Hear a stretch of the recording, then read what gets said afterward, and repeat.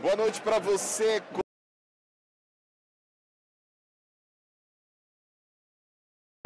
Do Sistema Jornal do Comércio e de Comunicação. Estamos ao vivo aqui de Salgueiro, 514 quilômetros da capital pernambucana. A equipe do Sistema Jornal do Comércio e Comunicação, ao vivo com vocês. Estamos transmitindo agora o pré-jogo da TV Jornal dessa finalíssima entre Salgueiro e Esporte. O Carcará do Sertão querendo fazer história, o time rubro-negro querendo aí o 41º título e a gente vai estar daqui ao vivo para fazer esse pré-jogo com vocês, nesses minutos que antecedem a grande partida, a finalíssima do campeonato estadual. Você já tem imagens aí direto do estádio Cornélio de Barros. Eu estou vendo muita gente já participando com a gente. Estamos ao vivo com mais de 400 pessoas conectadas online nas páginas da TV Jornal. Daqui a pouco.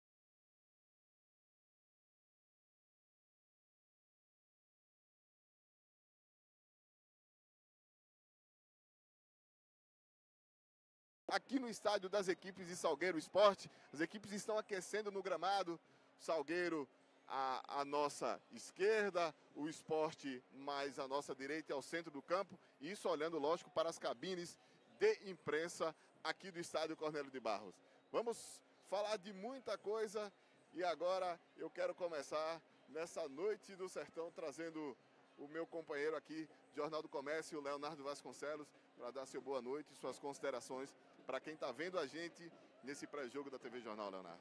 Boa noite, Tiago. Boa noite a todo mundo que acompanha a gente. De fato, é uma noite, né, Tiago, que a gente imagina, que imaginava até que não fosse mais chegar né, dada a demora, dada essa todo o imbróglio para chegar realmente nessa data. E chegou a data e o que a gente está vendo é uma expectativa muito grande, uma cidade completamente toda em festa. A gente já está vendo até agora, você viu aí nas imagens, um bom público até agora. Então o que a gente espera é que de fato seja uma grande final. Temos dois times bem diferentes, né?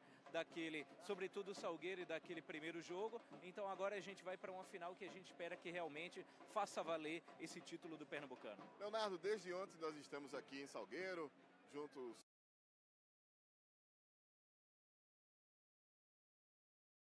Haroldo Costa e também o Marcial Júnior. Diego Negro também, Diego fotógrafo do Jornal do Comércio. E nós podemos ver e sentir como como se deu o desenrolar desse, a, partir, a noite anterior dessa partida, o dia hoje em Salgueiro, o que é que você percebeu de todo o material que você produziu, o que o torcedor pode esperar dessa final para quem está distante, quem não está aqui em Salgueiro, quem está no Recife, quem está vendo a gente no mundo inteiro através do Facebook do Sistema Jornal do Comércio. Tiago, é inegável a gente não falar que existe um gostinho na, no torcedor salgueirense de inédito, um gostinho do histórico. A gente conversou desde ontem, a gente está na cidade, a gente está conversando nas ruas com torcedores, vendedores de camisa, comércio no geral, todo mundo tem, tem essa gana né, de fazer história.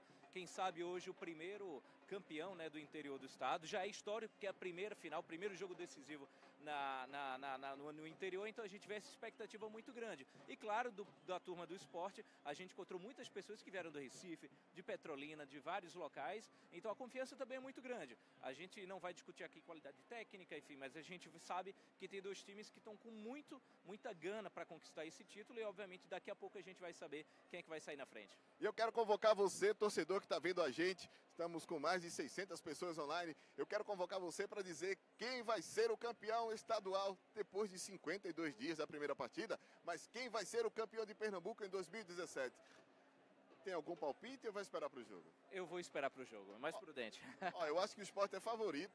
Eu não, até pela qualidade técnica que o time tem, mas do que a gente viu do Salgueiro e da valentia que os jogadores aqui do Carcará do Sertão estão demonstrando ah, na concentração, o que fizeram ao longo do campeonato, a gente já falou, inclusive durante o dia, também na, na, nas redes sociais do Jornal do Comércio, essa empolgação que é da torcida, mas não é do time. O time de Salgueiro está reservado nele. Né? Exatamente. É, obviamente a gente sabe que esse é o sentimento da torcida, né? Então, fatalmente, ela tem que apoiar, mas o que a gente viu, sobretudo, acho que daqui a pouco você vai mostrar imagens também da chegada do Salgueiro, o técnico Evandro Guimarães mostrou bastante seriedade, né? Bastante, ele está tranquilo, ele está sereno, ele sabe sabe que os jogadores vão jogar os 90 minutos da vida deles, mas assim, cabe à torcida apoiar a euforia, cabe ao time a, a, a seriedade com que vem jogando. Aliás, desde o início do campeonato, é bom que se diga, o Salgueiro foi um time regular, tanto é que fez essa ótima campanha. E assim, essa festa é agora na arquibancada, dentro de campo, eles sabem que vão ter que suar muito para conseguir ganhar do esporte. Já que você falou de Salgueiro, vamos ver como foi, primeiro, a empolgação da torcida salgueirense, que nesse momento vai aos atletas do esporte que saem e vão ao vestiário. Todos os jogadores também, todo o time do esporte está indo para o vestiário e a torcida do Salgueiro nesse momento vai.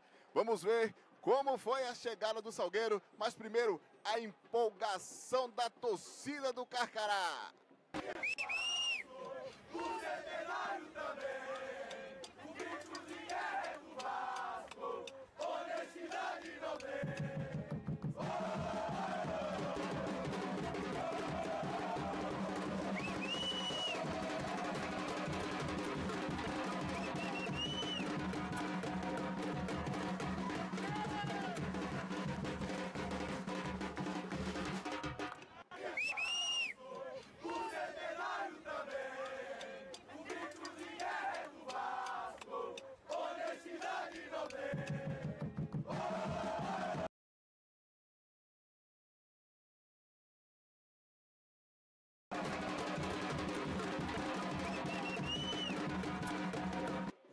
Aí a empolgação da torcida do Salgueiro, fazendo festa. Como chegou o Carcará do Sertão? Vamos lá pro vídeo.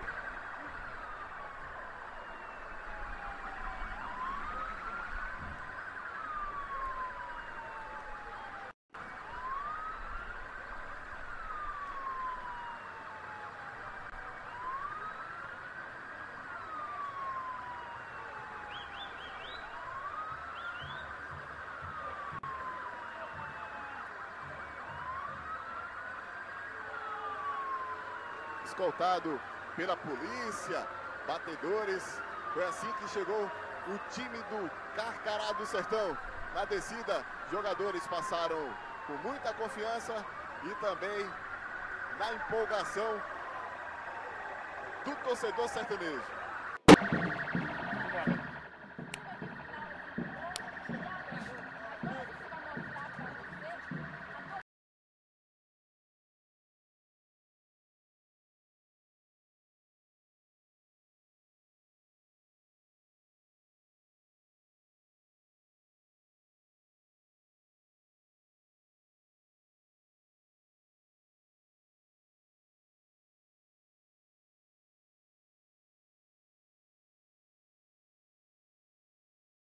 Que é o título estadual. O Salgueiro pode fazer história, né? Colocar um nome na história do futebol.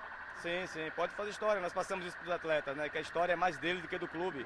E o clube fica marcado, né? E os atletas, eles dão, aumentam o patamar, aumenta o, o, o, o nível de, de, de, atleta. Então, eles têm que estar tá bem focados e bem atentos a todos os movimentos do jogo.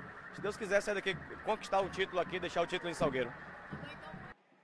Tá aí o técnico Evandro Guimarães, Leonardo Vasconcelos, que disse ontem até que já tinha sido vice em algumas oportunidades, mas agora quer ser campeão. Você acha que dá para o time do Evandro?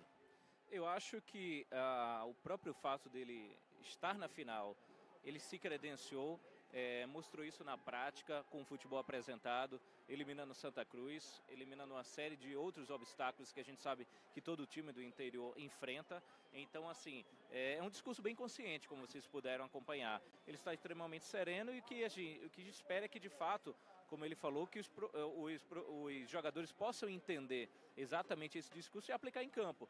Ou seja, a gente sabe que o momento não é bom, desde a Série C, né? É, o campeonato Salgueiro é um time completamente modificado, perdeu peças muito importantes como o Valdeir.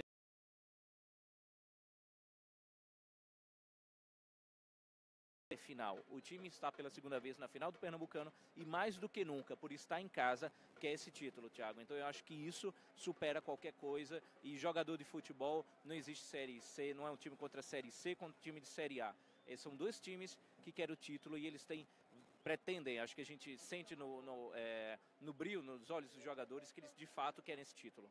Você entrevistou torcedores símbolos aqui do Carcará, o Zezito Doceiro, o, gente conhece. o- pouca gente conhece, o cara que fez o hino do Salgueiro. Você entrevistou também o Tarcísio da Buzina, que hoje não vai ter a sua tradicional buzina. O que esses torcedores ah, pensam e esperam desse Salgueiro, além do título, claro? É, exatamente. É, a gente entrevistou o famoso Tarcísio da Buzina sem a famosa buzina, né? Como todos sabem, tem essa decisão judicial e a gente sabe que ele está proibido, né? A- a- o instrumento, a buzina, está proibida de vir aqui. Então a gente sabe como é que ficou a situação dele. Então a gente conversou com ele. Assim, quando saiu a decisão, eu cheguei a entrevistá-lo e ele comentou: olha, eu não vou a campo, sem a minha buzina eu não vou. Então aí tudo bem. Só que na chegada aqui da cidade, a gente teve a oportunidade de reencontrar com ele. Eu perguntei, Tarcísio, e aí, você vai a campo? E ele disse que realmente pensou melhor, é, refletiu e disse que esse é um jogo muito importante para a história do time que ele ama. Então, por conta disso, ele disse que mudou de ideia, que vai vir a campo, disse que vai trazer uma surpresa, né? A gente ainda não sabe, a gente ainda não conseguiu identificá-lo aqui nas arquibancadas, mas disse que vai trazer uma surpresa.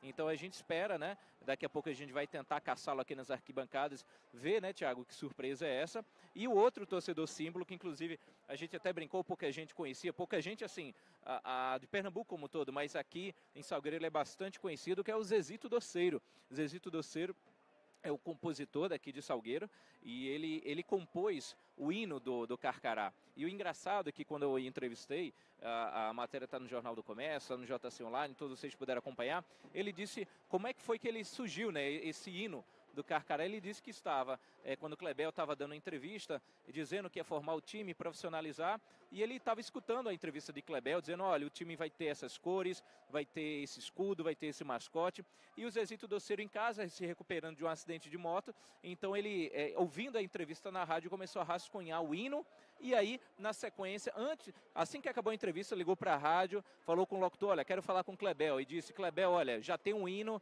do seu time, e ele cantou, inclusive, no próprio telefone, ele me relatou essa experiência que ele teve, então é um cara bem legal. E outra, outra coisa, o detalhe do hino é que ele fala: meu time é campeão. Uma das frases é essa. E eu perguntei, Zezito, você fez essa composição há 12 anos atrás. Você considera que isso foi uma premonição para o dia de hoje? Ele brincou dizendo que acha que isso é uma premonição, que está bastante confiante para esse título. Então, assim, são personagens, né? Que, que, que dão aquela, aquele, aquela química, né? aquele molho, né, Tiago? Como a gente fala o futebol, Zezito Doceiro, Tarcísio da Buzina, personagens que estão aqui, que enobrecem ainda mais o futebol e que fazem com que ele fique ainda mais bonito, né?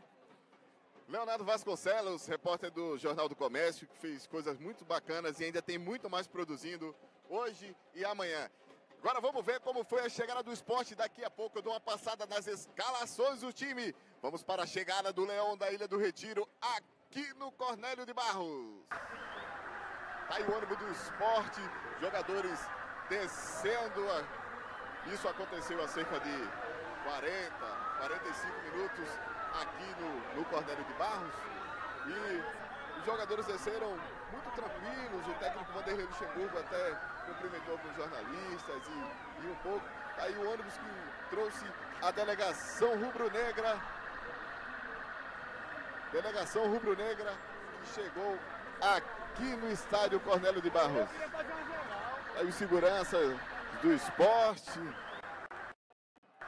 O técnico Vanderlei Luxemburgo foi o primeiro a descer da comissão técnica, cumprimentou com os jogadores. Inclusive bastante simpático, né? Brincando com todo mundo, ele brincou com o pessoal lá da imprensa, deu um abraço, ou seja, mostrou que ele está bastante leve, né? Vanderlei, enfim, extremamente rodado, experiente, ele está acostumado a decisões e mostrou, pelo menos nessa chegada aqui, que está bastante tranquilo. Então, assim, da parte dele, a gente vê um clima bastante leve, né, Tiago?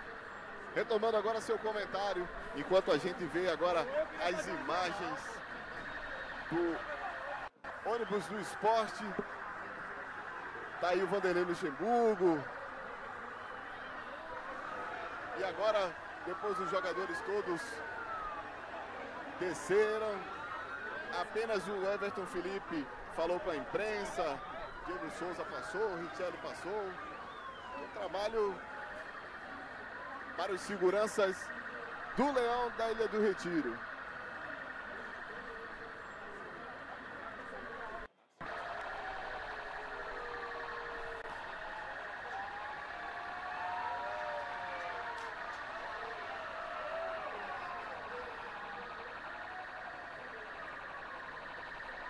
Membros da comissão técnica do esporte descendo.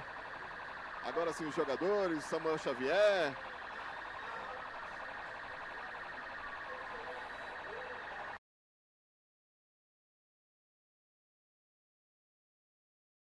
Magrão, Durval, Rodrigo Volante, que o Fabrício também descendo ali.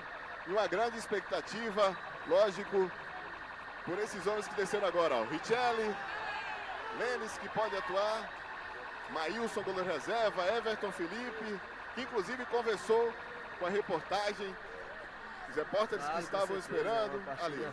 Final do campeonato, que vale título, então concentração to totalmente nessa partida que com certeza vamos sair com a vitória. Bom, muito obrigada ao Everton. Tá aí o Everton Felipe que falou com o pessoal.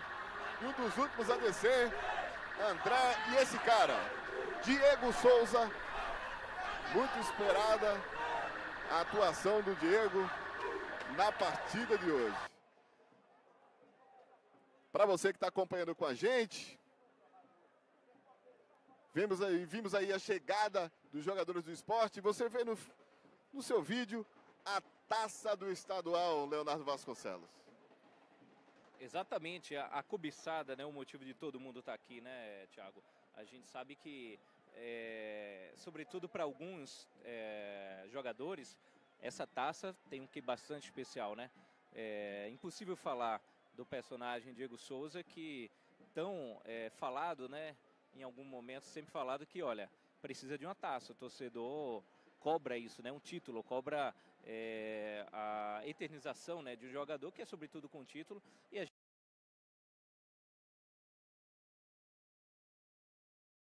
também tem vários jogadores símbolo que precisam de verdade desse título e a gente está acompanhando, vendo exatamente isso, essa guerra. Daqui a pouco vai começar, guerra dentro de campo, claro. Do lado de fora aqui, como a gente está acompanhando, o clima bastante amistoso.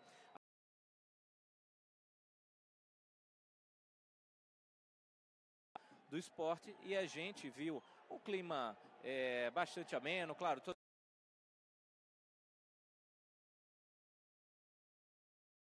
Pode mostrar agora, olha. Temos imagem, dá pra gente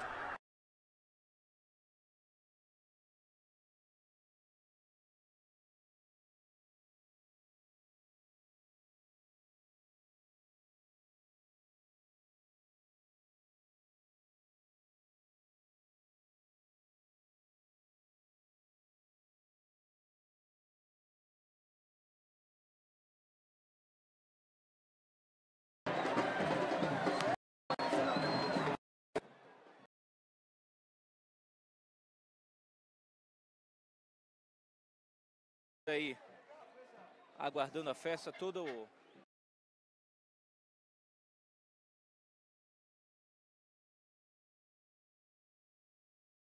Ah, esse espetáculo.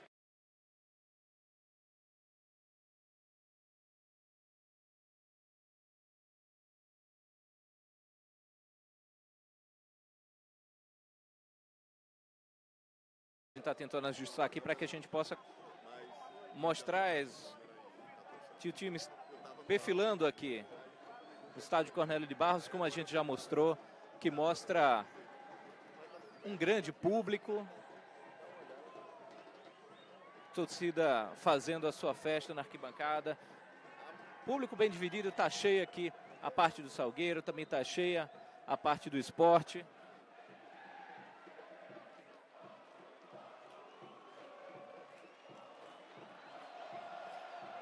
Vamos acompanhar a torcida gritando aí.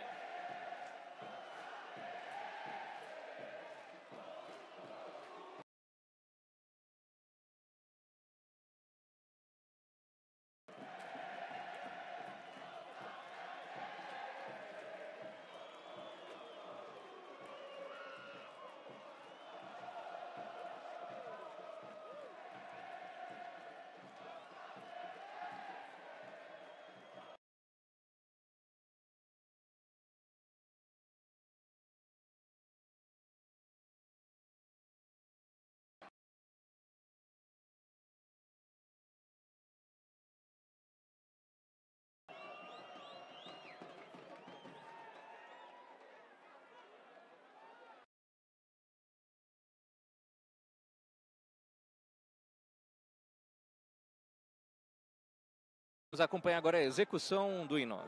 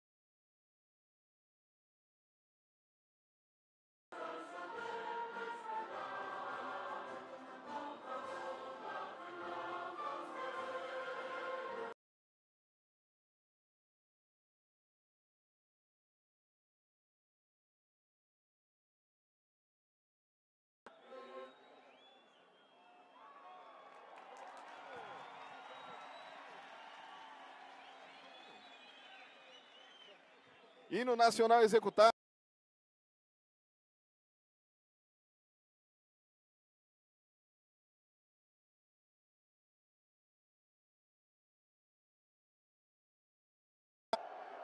Esteve participando com a